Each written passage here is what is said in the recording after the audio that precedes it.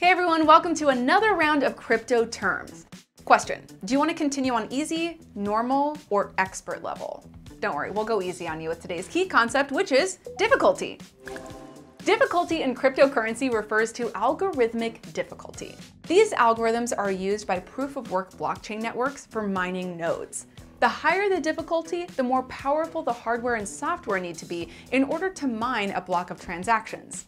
With constant increases in technological capability throughout the world, most blockchains are programmed to increase their difficulty on a regular cadence. This is to ensure that users can't use more powerful hardware to manipulate a blockchain through brute force. Difficulty continues to increase in order to keep up with technology and maintain mining speeds at a sustainable rate.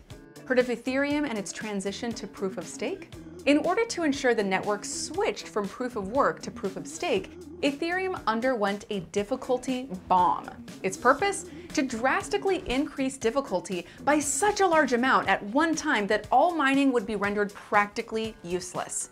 The difficulty bomb detonated as Ethereum merged into its new proof of stake network and successfully prevented any leftover users on the old proof of work side from forking the chain. Don't let crypto jargon be a barrier between you and financial freedom. Head to itrustcapital.com for more information and keep it here on our channel for key concepts to learn.